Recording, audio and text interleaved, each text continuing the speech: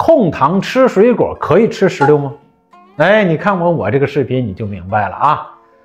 石榴水分非常的丰富啊，可以生津润燥，含有丰富的维生素 E，补充需要的一些维生素来缓解你焦虑的情绪。另外呀，可以减轻你的疲劳。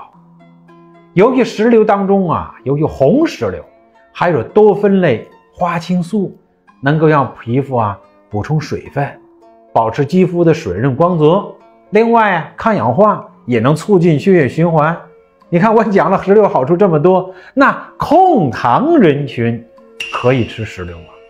如果说你控糖比较平稳的话啊，那么就建议呀，可以少吃一些，比如说半个石榴，那么升糖量在二点四左右啊。但如果说你控糖效果不好，一日三餐没研究明白，那么你千万就不要吃这种高糖高碳水的食物。